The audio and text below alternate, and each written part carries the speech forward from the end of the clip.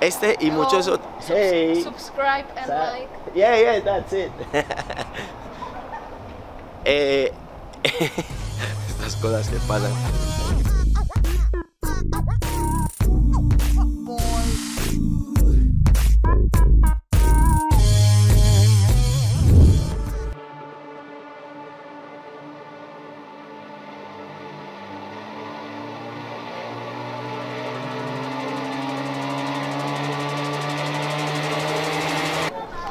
Hay que más lectores, ahí en donde estoy y sobre quién voy a hablar.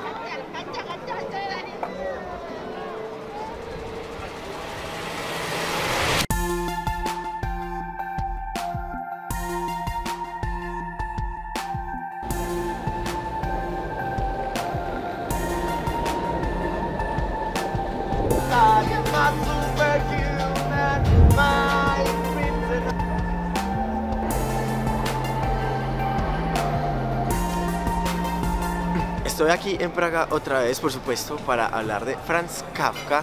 Nuevamente vuelvo a esta ciudad y en este video quiero que me acompañen a recorrerla un poco y a conocer de este escritor checo, nacido acá en Praga en 1883, que escribió uno de los cuentos historias más recordadas de la literatura del siglo XX, una de sus obras más importantes, el cuento La Metamorfosis, del que vamos a hablar hoy un poco mientras recorremos esta ciudad.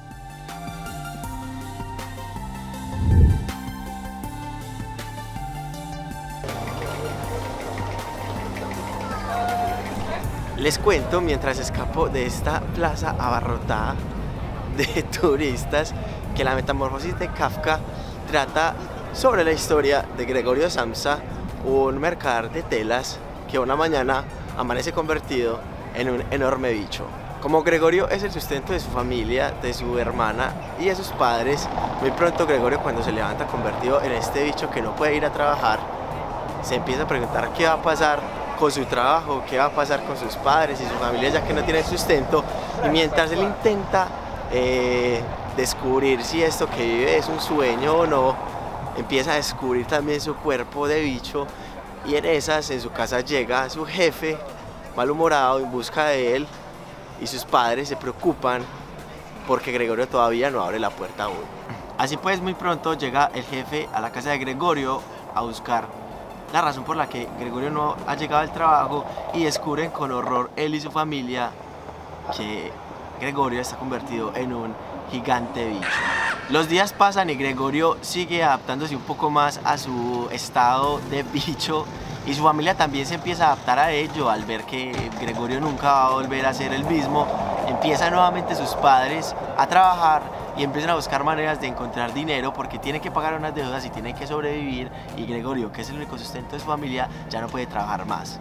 Este punto es muy interesante y los que hayan leído eh, Carta al Padre Kafka, del el libro del que también hice una reseña en el canal, se darán cuenta en este punto de que Kafka se concentra en dos aspectos de su vida en la narración de la metamorfosis. El primero es el asunto y la relación de Kafka con su trabajo y su jefe y cómo este trata a sus trabajadores de forma insensible solamente buscando en ellos su provecho económico del mismo modo en que también su padre y su familia lo tratan a él como la única persona que, se- que es capaz de sacarlos adelante como familia. Este es un aspecto clave en la vida de Kafka si leemos esa carta al padre, porque Kafka menciona que su padre también tenía esta posición con él en su negocio y en su casa. Este y muchos Oh, otros... subs- Subscribe and like. Yeah, yeah, that's it.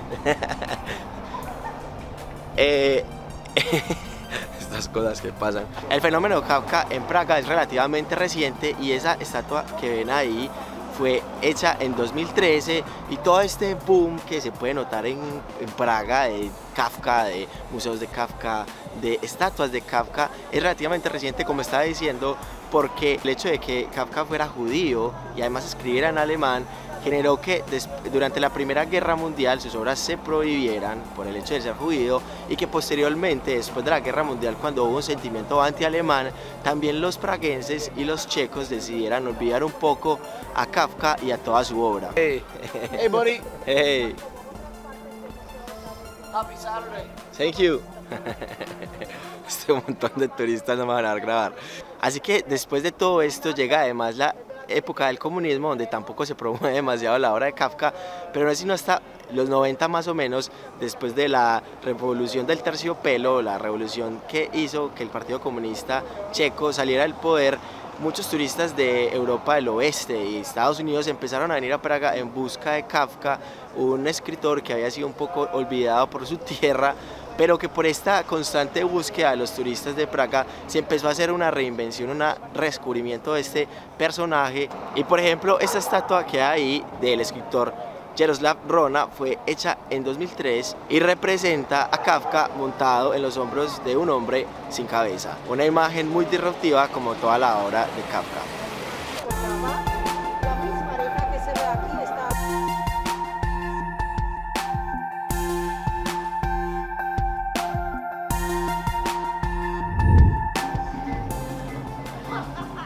Por el sentido que había no se podía ver muy bien que la estatua estaba parada sobre un mosaico que formaba un bicho. Y es una referencia directa a la metamorfosis de Kafka, el libro del que estamos hablando hoy, que continuando con la trama del libro que les voy a ir contando pero no revelar del todo, a Gregorio le sucede entonces que empieza a envejecer, empieza a sentirse muchísimo más abandonado por su familia y empieza también a medida en que se da esta transformación y este abandono por muchos meses a darse cuenta de que su padre vuelve al trabajo después de que supuestamente estaba enfermo y no podía trabajar de que su hermana también trabaja, de que hacen otros esfuerzos en la casa y se empieza a preguntar cuál era la importancia y su papel en la casa. Un asunto, una eh, dato curioso muy interesante que escribe Kafka en una carta a uno de sus amigos cuando le dice que estaba un poco insatisfecho con el final de su historia, de la metamorfosis, porque lo había tenido que terminar ahí un poco a la brava por un viaje de negocios que tenía que realizar. No les voy a contar el fin de la historia, por supuesto, pero sí les puedo decir que es una representación y una clara muestra de lo que es el estilo de Kafka, que es básicamente una gran enajenación de la realidad.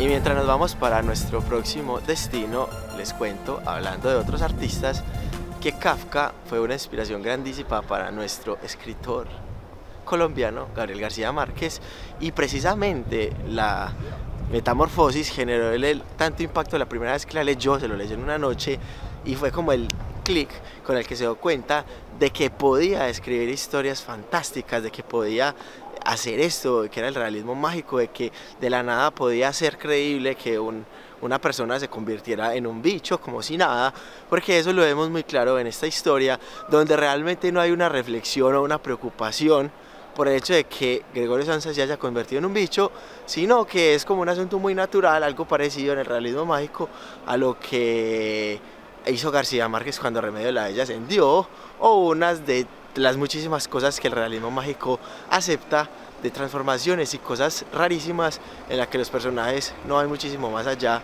de lo que pasa y esta disrupción de la realidad es clarísima en toda la obra de Kafka y esta enajenación que está siempre presente, esta pregunta, esta reflexión filosófica ante lo cotidiano es algo demasiado valorable.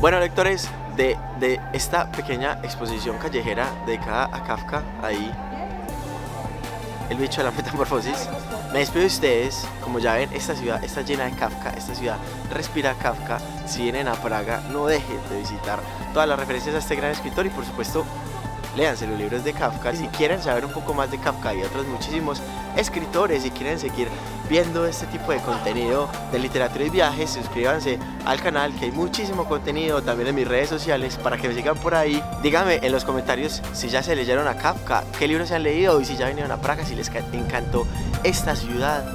Me encantaría leerlos y conocer sus opiniones. Nos vemos en el próximo video. Buena lectura.